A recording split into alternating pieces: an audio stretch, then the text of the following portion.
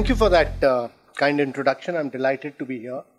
Uh, uh, I think uh, this uh, summit on waste reduction, circular economy, and enhanced livelihoods is is a very critical one. It's a critical one because we've already generating over 71 million tons of waste every day, and this is only going to increase. And this is only going to increase because our process of urbanization has just begun. Uh, you know, we are seeing about 30 Indians move from rural areas to urban areas every minute. And if you go by the latest McKinsey study, by 2050, you will have close to 700 million Indians getting into the process of urbanization. And that means that uh, India will be creating two and a half Americas by 2050. And we will do more urbanization, more construction, more urbanization, more people getting into cities in the next 50 years than what we've done in the last 5,000 years. And, uh, you know, cities, while they account for 3% of the earth landmass, they account for about almost 70% of the people living in cities in the world. But they also account for about close to cities account for about 80% of the CO2 emissions. And therefore, you know, the process of urbanization has ended across America, it's ended across Europe, it's nearing its completion in China. But the process in India has just begun. And you know, when America and Europe urbanized, land, gas, water were all cheaply available. And because they were cheaply available, America had the luxury of living in New Jersey, traveling to New York, guzzle gas, create waste. Uh, you know, they could create cities like Atlanta where 99.8% of the people travel by car. So many of the American cities were actually based on this model of consumption. It was based, these cities were designed for cars and not for people. When our urbanization process has begun, land, gas, water are all scarce commodities, all scarce commodities. Therefore, we'll have to do a very innovative and sustainable model of urbanization. And many of these lessons, to my mind, come from the eastern part of the world and they don't come from the western part of the world. They come from a city called Yokohama where a lady mayor was able to reduce waste. Reduce waste by household segregation at household level by almost 39%. And it made a huge difference to Yokohama. There was a savings of about close to 7 8 billion US dollars by just reduction at household level. They come from Singapore, which has demonstrated its great ability to recycle water for human consumption. They come from a city called Kitakyushu in Japan, which became the most polluted city in the world post World War II, drove this manufacturing of power plants and cement in Kitakyushu, but the women of Kita Kyushu rose in revolt. In mid 70s, they rose in revolt because the Dokai Bay on which it is based actually went absolute yellow from blue. It impacted the life of citizens. And therefore, there was no alternative but for the Ministry of Trade and Industry, which is a very powerful ministry in Japan, to work in partnership with the women of Kita Kyushu to create a totally recyclable city. It's one of the smartest cities if you go there. Everything is recycled. Everything is recycled. And therefore, to my mind, there are two critical elements. If you are already generating 71 million tons of waste every day, it is only going to increase. And therefore, there are two clear things. One is you need to reduce. You need to reduce and you need to reduce at household level, you need to segregate at household level, and there is a need for mass movement around this. A huge mass movement, and the political leadership of municipalities, of municipalities, and the administrative leadership of municipalities must be held accountable for this. And nobody is holding them accountable. I mean, we have workshops, we have seminars, but nobody holds municipalities, which is their basic function to get this reduced at household level, responsible. And unless we don't pin them down, municipalities have got into a range of activities, but they've failed to do their basic function. And their basic function is waste management in their cities. And therefore, each one of us need to hold municipalities responsible. There are some unique examples of this. I've been to Indore and Bhopal several times and I've seen the radical transformation that has taken place in these cities. And this has happened because of several things. One is household reduction, segregation, massive fines, education, extension, mass communication, conversion of waste into uh, manure, compost, uh, energy, huge level of work, mechanization, ma- massive amount of work has been done around. And actually, the model of Indore needs to be replicated across every single city of India. Every single city of India. We don't need workshops, let me tell you this. I've come to the conclusion that India has done something very successfully in Indore, including reduction at household and shops level and creating a huge mass momentum. And that movement needs to be spread across India. I think so. My belief always has been that reduction and segregation holds the key to the success. And second is that you need to move from a linear economy to a very circular economy. And when you need to move from a circular economy, Firstly, I think to my mind, you need to prioritize the regenerative resources and ensure that renewable, reusable, and non toxic resources are utilized as materials and energy in a very efficient way. Secondly, we need to ensure that there is preservation and extension of what has already been made. And this would require us to highlight the ways to improve the lifespan of the resources so that it can be used for the farthest time without harming the environment. And thirdly, we need to use waste as a resource to focus on utilization of waste as a source of secondary resources and recovery from waste for subsequent reuse and recycling. And fourthly, I think we need to all design for the future so that we select the right materials, design for appropriate lifetime, and design for extended future use. And fifthly, I think we need to collaborate across industries to create joint value across sectors.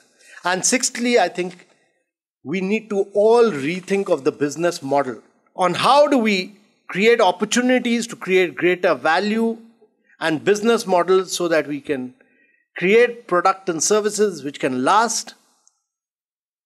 And seventhly, I think we need to track and optimize resource use and strengthen connections between supply chain actors digitally. Everything must be tracked online. And you, if we are not able to create online platforms and technologies that provide tracking, it will be very difficult to find solutions. And technology enables you to do that today. And therefore, the circular economy approach truly has the potential to transform the function of resources in the economy. Waste from factories could become valuable input to another process, and products could be repaired, reused, or upgraded instead of being disposed. And you know, we are living in a world of very high and volatile resource prices. This model presents a lot of business potential and opportunities. And if we had a material recycling conference recently, and I was amazed at the kind of work Indians have done in this field across the world. The best papers were presented by Indians who've gone to European economies and they've become the most dynamic entrepreneur in the recycling economy. They've actually done the most amazing work. And we can give you, Sujit Samdai sitting you, will give you details of Indians who've gone and done some great work recycling in all the European cities. And so they have implemented practices that are in line with the goals of the circular economy. They all shared best practices, they shared data on how we can uh, invest in innovation and encourage business to business collaboration. Therefore, ladies and gentlemen, to my mind, there are huge economic benefits of establishing a circular economy. There's a famous study, I think must have been quoted by Ellen MacArthur Foundation, that by 2025, about a trillion of material cost saving could be generated annually from circular business models. This same foundation finds that opportunities in India amount to close to 218, 218 billion dollars in India per year. Every year, 218 billion dollar worth of economic opportunity by 2030. So that's a massive business opportunity, huge business opportunity. And therefore, this approach offers the possibility and the potential to create business model which by which India could grow in a very innovative and sustainable manner and that is what is required. It's not possible to pursue the approach which we've been pursuing for the last 70 years. Not possible anymore. 14 of the most polluted cities of India are already here. And you need very tough, very firm action now. And we need to really get into sunrise areas of growth. And quite often we get into sunset areas which again start polluting. So you need to get into sunrise areas of growth. And one of the key areas of growth to my mind is, of course, how do you recycle waste? How do you convert waste into energy? How do you move towards renewable energy? How do you transform your mobility? In the next five years, combustion vehicles will be on par with electric vehicles in terms of cost simply because the cost of batteries is falling rapidly and will fall from $275 to $75 an hour. We cannot become an importing country for batteries and then have all the nickel, cobalt, and lithium here being dumped. So, how do you add value? How do you reach from package to cell manufacturing here? And how do you use the shift towards electric vehicles by charging them with clean fuel? How do you use the strength of your renewable energy? We are importing close to about 150 billion worth of dollars of oil every year. And your biggest strength is sun. The biggest strength India has is sun. So the whole focus needs to be shifted towards renewable energy, towards energy, towards electrification of vehicles, towards charging through batteries, and towards battery storage. These are the key areas, and these are all sunrise areas of growth. And if we take a march forward in these sunrise areas of growth, we would have pushed for towards sustainable development and we would have pushed towards uh, clear a model where we'll move away from what we've been doing in the last 70 years. And therefore, to my mind, this whole circularity of resources is the key on how do you modularize? How do you remanufacture? How do you do component reuse? How do you design products with less material? And if we are able to do this, then we will be able to transform India. It's not about creating a circular economy. It's not about waste. It's not about, as you've titled it, waste reduction. It's about creating a new India. By doing all this, actually, you're transforming your country, you're creating a new India. And therefore, by practicing circular economy, we have the potential to achieve a significant number of sustainable development goal targets. There's huge relationship between circular economy practices and the targets of clean water and sanitation, between that's SDG 6, between SDG 7 about affordable and clean energy, between SDG 8 of decent work and economic growth, and SDG 12 of responsible consumption and production, and SDG 15 of life and land. And therefore, in all these areas, if we want to achieve progress and sustainable development goals, this is the only way. And therefore, we need to really push for circular economy through looking at global examples of policy, of legislation, and of creating frameworks for material recycling. Uh, if a law is required, so be it. If a policy change is required, so be it. If, uh, if we need uh, any kind of best practices, and there are a whole range of them available across EU, across Germany, across China, across USA, and there are vast number of practices, and we've done an analysis of the best practices in terms of setting up of material recycling zones. Uh, a whole range of best practices of shared responsibility of stakeholders, of recycling content mandate, of discouraging the use of landfills, of interstate regulations which limit being relaxed or done away with to ensure that limiting the trade of waste materials from one state to another needs to be relaxed to the ex maximum extent possible so that we can create markets for this. Of use based pricing, where the costs are passed on to consumers for higher prices of products.